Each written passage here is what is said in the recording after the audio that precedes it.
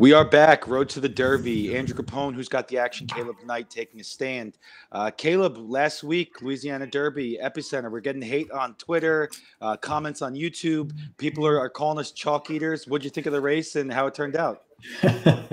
yeah, Andrew, I thought it was pretty formful. Epicenter was never the sexiest pick that race, but he did appear to be really a cut above that field, and, and he proved it on Saturday.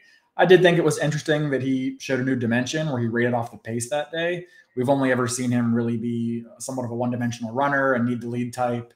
Uh, I think they used this race as an opportunity to teach him how to rate and to prove to them that he doesn't really need the lead, considering he didn't really need the points in that race as he's already secured himself a spot in the Derby gate.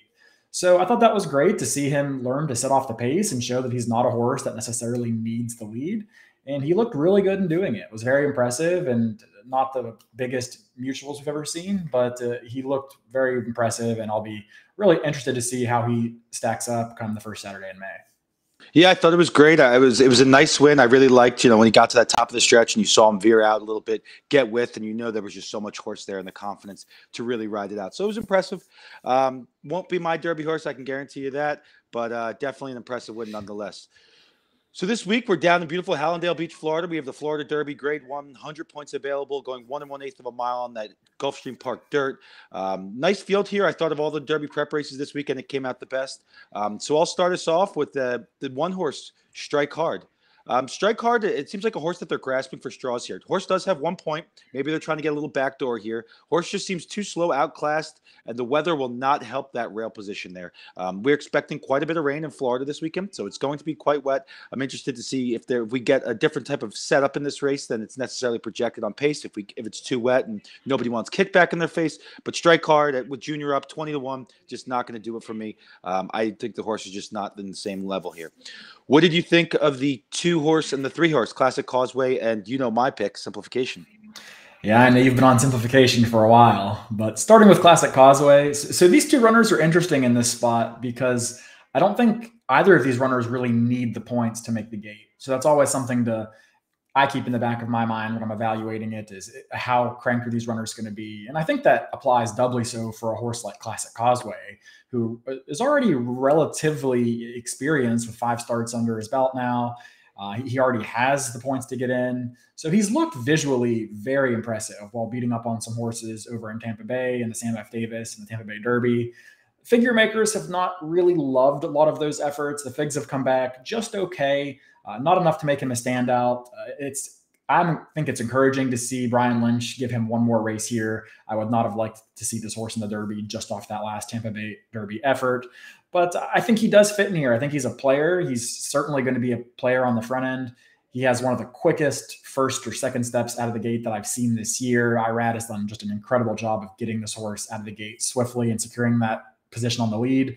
I'm sure that's probably the game plan today is to get out front and see how far you can take him. So I think he's a major player, but probably not one that I'd want to back at too short of a price. The number three, simplification, is another who's likely done enough to secure a spot in the Kentucky Derby in May. Uh, this is a horse that I know is near and dear to your heart, and he's really done everything that's been asked of him. Uh, ever since getting stretched out to two turns, he's been a completely different horse. He's looked extremely impressive in both the Holy Bull and the Fountain of Youth. I mean, arguably was best in that Holy Bull effort two back, where he totally blew the start with his head turned, you know, circled the field and got up for second. And it is interesting to see that they've taken more of a stalking closing kind of approach with him in his last two starts, where he's done most of his running on or near the lead earlier in his career. But I do think this horse makes a ton of sense here. He is a deserving favorite and has really looked good. Uh, clearly likes Gulfstream, and should the track come up sloppy, he's certainly bred to handle that as well. I think that takes us to the number four, King of Truth. So, any thoughts there, Andrew? Yeah, I mean, I think King of Truth is a great turf horse. Too bad this race is not on turf. So I don't know what's going to happen here. Um, horses ran pretty well over the Tapeta. So, you know, I do like to see good synth to slop form. So if it does get sloppy, there might be a chance here. Um, rain is the only thing that I really see this horse really giving an opportunity here. I will say though, I am going to use this horse probably in third in a lot of my trifectas. It's going to be a massive, massive price, um, and I, I, think there's an opportunity here, especially if we get super sloppy. Uh, there's an opportunity for this horse to really shine and show its ability. It's a little bit of diversity. Brings me to the five, Papacap. Uh, this Gunrunner baby. I mean, we've we've talked about this horse over and over again, and and how lost people have been on it. Uh, ran a nice bullet workout this past week, 47 in the hook with a strong workmate who who's, who's really showing improving. Horse was empty in the Risen Star, really showed nothing to me. Um, a few bridesmaids when jo- Bravo's up. Too bad he's not here for the mount. Um, I never like to bet deteriorating form, in my opinion, in a grade one. Um, I think this is a horse that you're going to see take some action, especially with the two interviews that Casse gave, that the horse is ready to go and, and this is going to be a big race. I don't necessarily like to buy pay, play horses with deteriorating form in a grade one. So this is going to be a horse I'm, I'm probably going to leave off my tickets. The works are good, but what I'm really going to hope for here is that other people don't leave this off their tickets. This is what I like to call a pool filler. I hope we get some opportunity to uh, get some diversion in the odds, and and that ten to one morning line I, I don't think sticks. I think it goes a little bit shorter. Um, so that brings us to the six. Charge it. What do you think there? Yeah, Charge It was an interesting horse in here, considering he he's looked really good on paper, but you have to wonder a little bit as to what he's been running against in these maiden races. Uh, this is a big step up for a horse like this who's going from maiden special weight company straight into a grade one. Uh, on his third career start, he's tackling two turns for the first time. It is Todd Pletcher, and he's having, as always, an incredible Gulfstream Park meet. Luis Saez gets up, who's always one of the hottest riders. Probably not much uh, doubt as far as what the game plan with Charge It's going to be, which is going to be essentially get out there and try to make the lead and take him as far as he can. This horse has never passed another horse. He's never been headed in his entire two race career. So can't imagine they're going to try something new in a grade one and pretty much the last chance this horse will have to get a spot in the Derby gate. I'm not going to back this horse. I think seven to two is way too short for me to go to a horse that is, is making this kind of a step up in class. Got a really soft pace last time out at Gulfstream and drew off and was was much the best. You beat that field the way a good horse should at odds of one to five. But I think there's just a lot of things that are up against a lightly raced colt like this. So for me, not one I'm going to bet. Uh, likely has to deal with Classic Causeway on the lead, uh, or even a horse like White Abarrio might try to contest as well. So not one I'm super interested in, um, especially at a short price. Speaking of White Abarrio, that's the number seven horse. I am interested in White Abarrio here.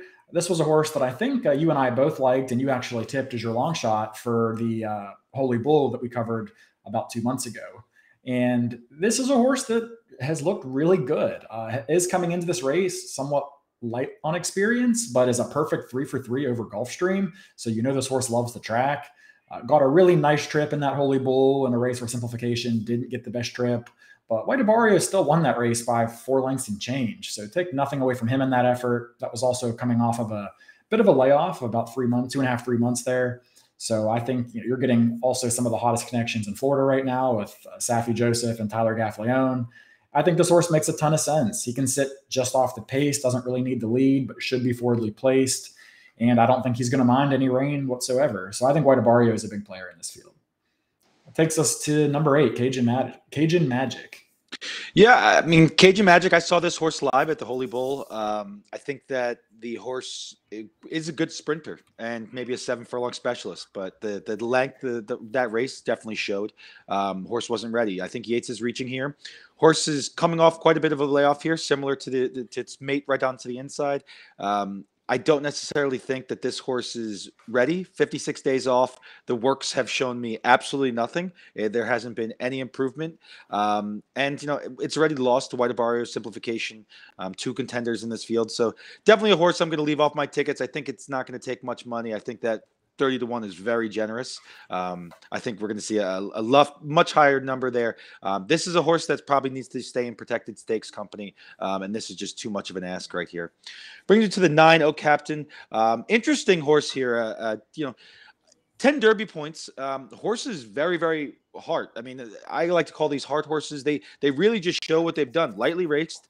Um, we, we have a little bit of a change here. Um, you know, uh, JJ St- steps off. Joel takes the mount. You know, for Joel Rosario to take a 20 to 1 mount in a race like this, I think there might be an opportunity here. Of Youth finished um, finished third, ran a really, really nice race there. Uh, the I believe that part of that finishing third had to do with the the falling horse in front of it that that gave the opportunity to get there.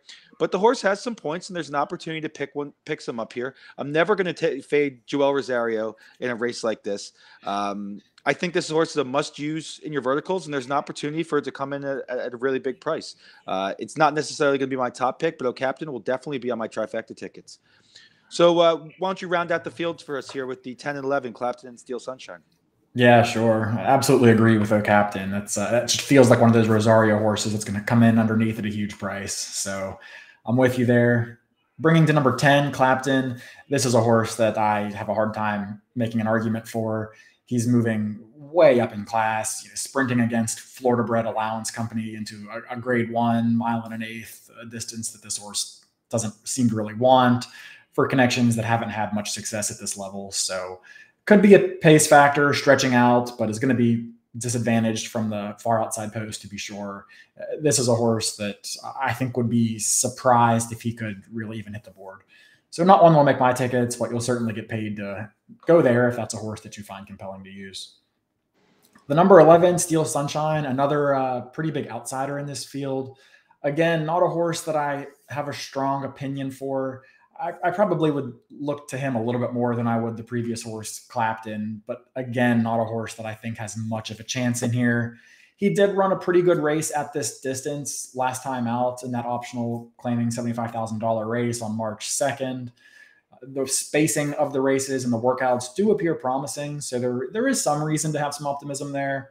My big concern here is just that that last race, I think he really got a perfect setup that day where the pace was extremely swift he got to close into it and was still a, a pretty distant uh, second place finish there. Couldn't get the job done even with the pace setup.